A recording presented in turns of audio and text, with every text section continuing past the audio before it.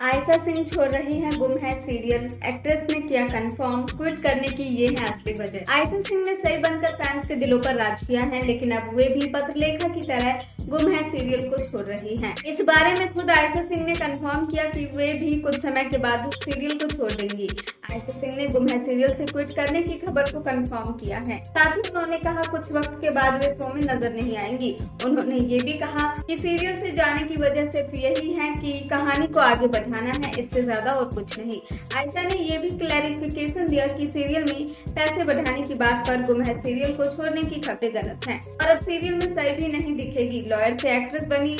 Actress Ayesha Singh अभी तक ज़िंदगी अभी बाकी है मेरे घोस्ट और डोली अरमानू की में नज़र आई है। वही सीरियल गुम है किसी के प्यार से उन्हें फैंस का बेहिसाब प्यार मिला। और इस सीरियल में सही के किरदार ने दर्शकों का दिल छू लिया। इस बात की कंफर्मेशन के बाद सीरियल के फैंस निराश हो सकते हैं।